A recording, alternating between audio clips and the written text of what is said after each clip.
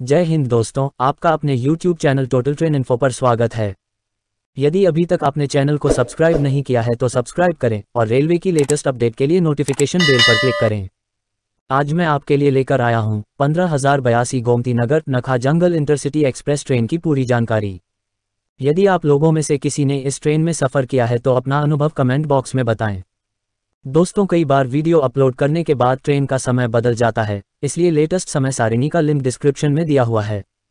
ये ट्रेन कहाँ से कहाँ तक चलती है, किस रूट से होकर जाती है, किस किस स्टेशन पर रुकती है, इस ट्रेन में कौन कौन सी सुविधाएँ मिलती हैं, इस प्रकार की सभी जानकारी मैंने इस वीडियो में दी हुई है।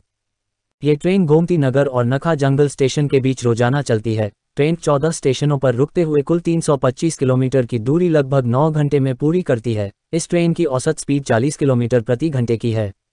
अब मैं आपको इसके कोच कंपोजिशन के बारे में पूरी जानकारी देता हूँ। इस ट्रेन में केवल सामान्य कोच का प्रयोग किया जाता है। अब मैं आपको लोकोमोटिव की जानकारी देता हूँ। इस ट्रेन में इलेक्ट्रिक लोकोमोटिव का प्रयोग किया जाता है। अब मैं आपको ट्रेन के रूट की जानकारी देता हूँ। ये ट्रेन छूटने से आधा घंटा पहले गोमती नगर स्टेशन पर आकर रुक जाती है और सुबह छह बजकर दस मिनट पर रवाना होती है।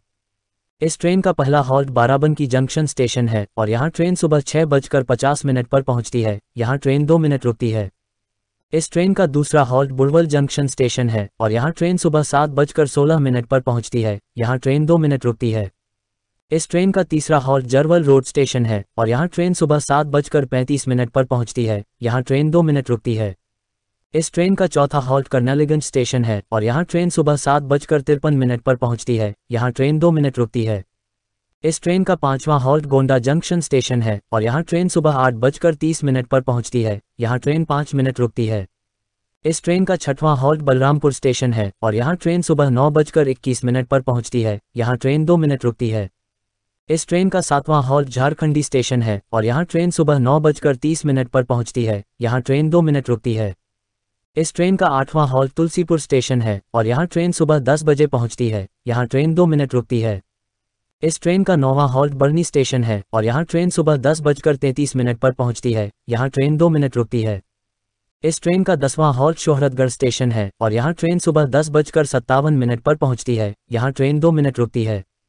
इस ट्रेन का ग्यारहवां हॉल्ट सिद्धार्थ नगर स्टेशन है और यहाँ ट्रेन सुबह ग्यारह बजकर छत्तीस मिनट पर पहुँचती है। यहाँ ट्रेन दो मिनट रुकती है।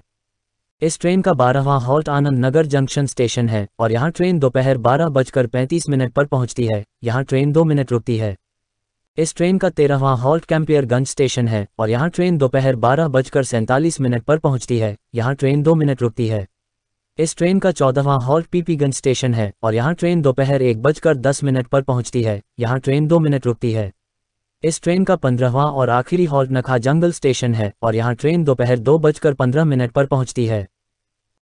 दोस्तों, मैंने इस वीडियो में किराए से संबंधित कोई जानकारी नहीं दी है, क्योंकि किराया हर स्टेशन से अलग अलग होता है और समय समय पर किराए में बदलाव भी होते रहते हैं। इसलिए किराए की जानकारी के लिए आप रेलवे की ऑफिशियली साइट आई पर देख सकते हैं।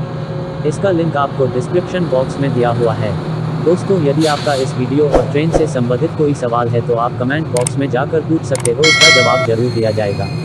यदि आपको यह वीडियो पसंद आया हो तो लाइक ज़रूर करें और दोस्तों के साथ शेयर करें।